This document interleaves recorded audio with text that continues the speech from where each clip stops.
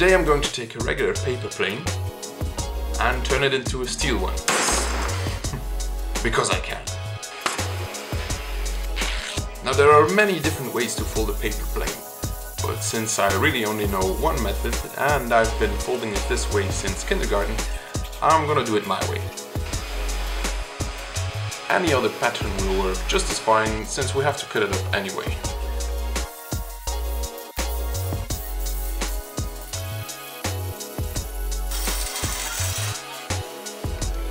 Now it's time to trace our pattern onto the steel. I'm using 4mm thick steel, but if you wanted to, you could easily scale it up even more.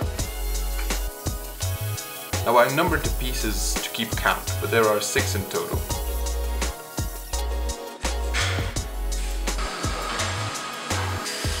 To cut the pieces out, I'm using a cut-off wheel on the angle grinder, with a steel bar as a guide to help with the straight lines.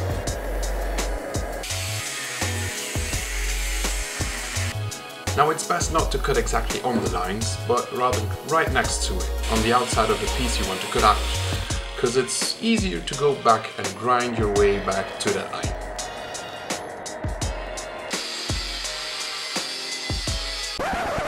It was at this moment that he knew. He f***ed up.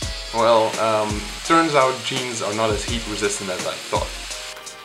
No, that's too bad, because I really like this pair of jeans. Goes to show you that you can never be too safe working with heat and sparks. Now I had to be extra careful cutting all the smaller pieces because I didn't want to get them damaged.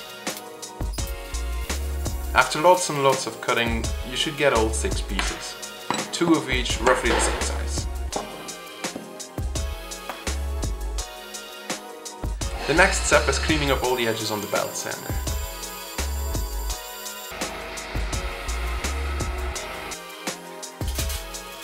Now that all the edges are relatively straight, it's time to weld everything together.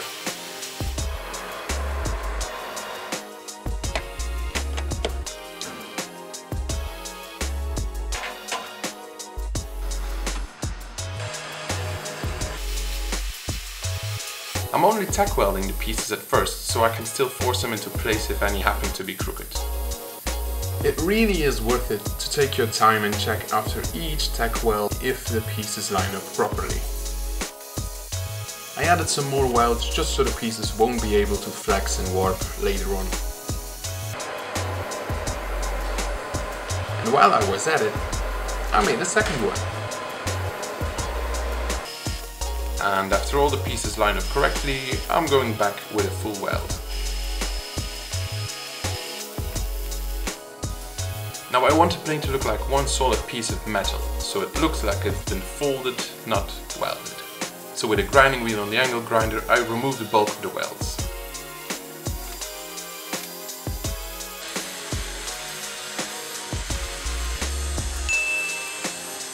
And for a smooth surface, I go back and forth quickly with light passes.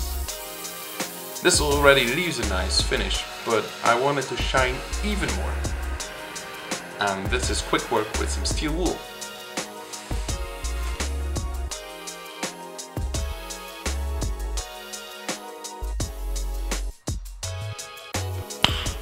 Nice. Now I thought the steel plane was going to be completely useless, you know, just a silly thing to have laying around. Turns out it makes for a great phone stand.